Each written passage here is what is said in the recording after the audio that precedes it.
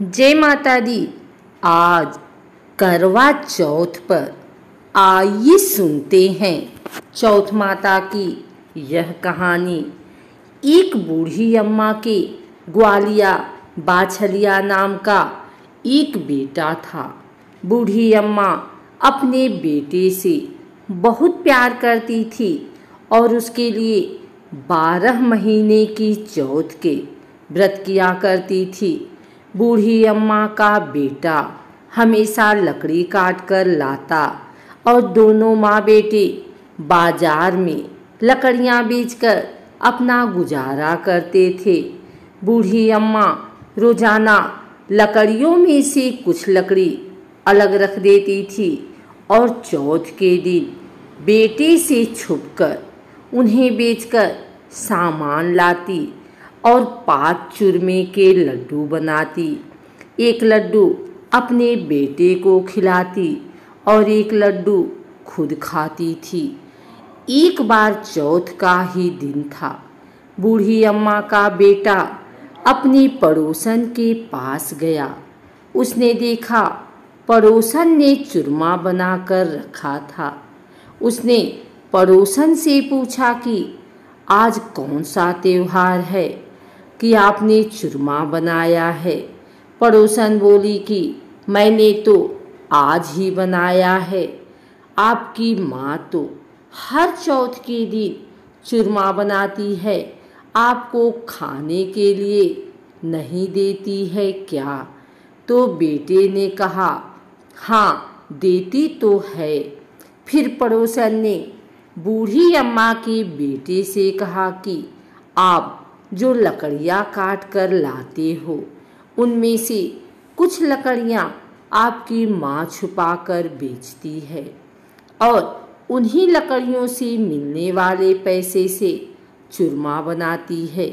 बेटा अपनी माँ के पास गया और बोला कि माँ मैं इतनी मेहनत से लकड़ी लेकर आता हूँ और तुम चूरमा बना बना कर खा जाती हो, तो या तो आप मेरे को छोड़ दो, या फिर चौथ माता के व्रत को छोड़ दो। माँ बोली कि, बेटा, मैं तो यह व्रत तुम्हारे लिए ही करती हूँ, तुम्हें छोड़ सकती हूँ, लेकिन चौथ माता के व्रत को नहीं छोड़ सकती। बेटा घर छोड़कर जाने लगा। तो माँ ने कहा, बेटा, तू जा तो रहा है, लेकिन यह कुछ अनाज है, जिसे मैंने चौथ माता की कहानी सुनी है। यह लेकर जा, और जब भी संकट आए तो चौथ माता का नाम लेकर कुछ दाने वहाँ डाल देना। बेटे ने सोचा कि यह तो झूठ है, लेकिन कोई बात नहीं। उसने वह अनाज के दाने रख लिए और घर से चल पड़ा। वह घर से थोड़ी ही दूर गया था कि उसने देखा खून की नदी बह रही थी और कहीं से भी रास्ता नज़र नहीं आ रहा था। उसने चौथ माता का नाम लिया और थोड़ी सी अनाज के दाने वहाँ डाल दिए और कहा, हे चौथ माता, अगर आप सच्ची हैं तो यहाँ रास्ता हो जाए। इतने में ही नदी सूख गई। और वहाँ रास्ता हो गया। वह आगे बढ़ा और जंगल में पहुँच गया। थोड़ी देर में रात हो गई और जंगल में जंगली जानवर बोलने लगे। उसे बहुत डर लगा तो उसने चौथ माता का नाम लेकर वहाँ पर कुछ अनाज के दाने डाले और कहा, हे चौथ माता, मुझे रास्ता दिखाओ, वरना यह जानवर मुझे खा जाएँगे। इतने में ही रास्ता मिल गया। चलते चलते वह एक राजा के नगर में पहुँच गया। वहाँ का राजा हर महीने एक आदमी की बलि देता था। जब वह एक बूढ़ी अम्मा के घर गया तो देखा कि बूढ़ी अम्मा पूरी बनाती जा रही थी और रोती जा रही थी। तो उसने पूछा कि, हे बूढ़ी माई रो क्यों रही हो? तो बूढ़ी अम्मा ने कहा कि, मेरा एक ही बेटा है और आज उसे राजा के पास बलि देने के लिए जाना पड़ेगा। यह पुड़िया में उसी के लिए बना रही हूँ। तो लड़के ने कहा कि, आप यह पूड़ियाँ मुझे दे दो मैं आपके बेटे के बदले राजा के यहाँ बलि देने चला जाऊँगा। बूढ़ी अम्मा ने उसे पूड़ियाँ दे दी। रात को सोते समय उसने अम्मा से कहा कि जब भी राजा का बुलावा आए तो आप मुझे बता देना। आधी रात को राजा का बुलावा आया तो बूढ़ी अम्मा सोचने लगी कि पराए बेटे को मैं बलि चढ़ाने के लिए कैसे भेजूं? इतने में ही वह उठ गया और बूढ़ी अम्मा को बोला कि, मेरा थैला और मेरा लाठी दे दो। बूढ़ी अम्मा ने सोचा कि, आज तक कोई वापस नहीं आया, यह भी नहीं आएगा। राजा के आदमी उसे ले गए और आवा में उसकी चिनाई कर दी। तब उसने चौथ माता का नाम लेकर कहा, हे चौथ माता, आपने पहले भी दो संकट टाले हैं तो यह संकट भी टाल देना। इतने में ही आमा पककर तैयार हो गया। दो तीन दिन बाद आमा के पास बच्चे खेल रहे थे। उन्होंने आमा पर पत्थर मारा।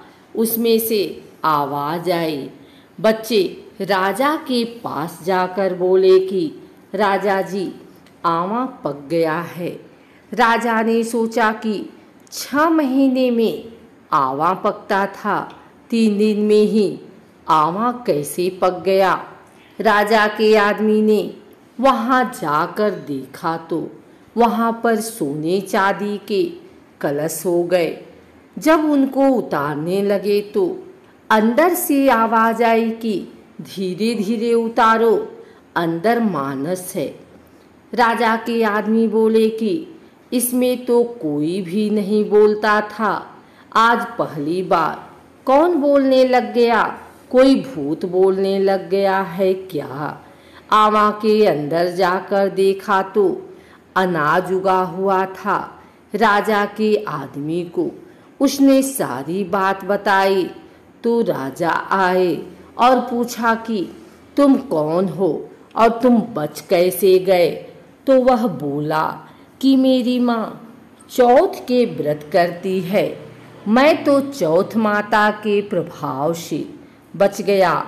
राजा को उस पर यकीन नहीं हुआ तो राजा ने उसकी परीक्षा लेने की सोची। राजा उससे बोला कि, तू एक घोड़े पर चढ़ जा और मैं दूसरे घोड़े पर चढ़ जाऊँगा।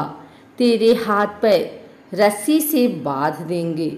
अगर रस्सी खुलकर मेरे में बच जाएगी तो चौथ माता सच्ची है। तो राजा और वह लड़का दोनों घोड़े पर बैठ गए। उसने थोड़ी सी अनाज के दाने डालकर कहा, हे चौथ माता, मेरी लाज रखना।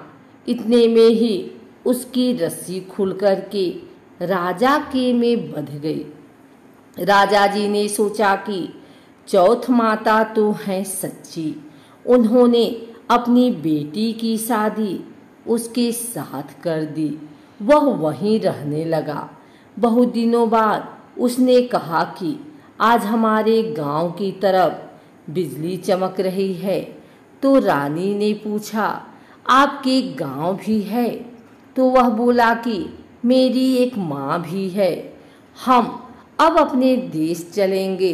राजा जी ने उन्हें बहुत सारा धन देकर विदा कर दिया।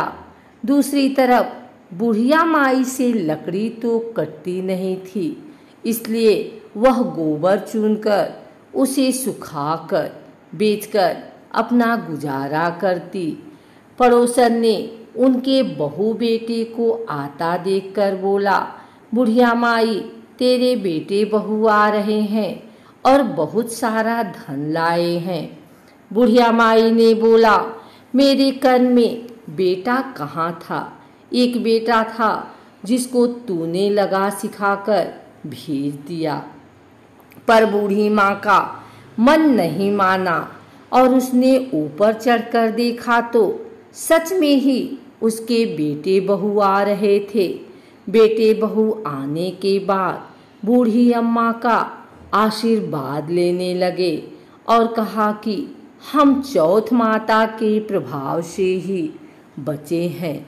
तब सारी नगरी में ढोल नगाड़े बजाकर कहा कि, बेटे की माँ और उसकी पत्नी सब कोई चौथ का व्रत करें। तेरह नहीं तो चार चार नहीं तो दो। तो सब ही करें।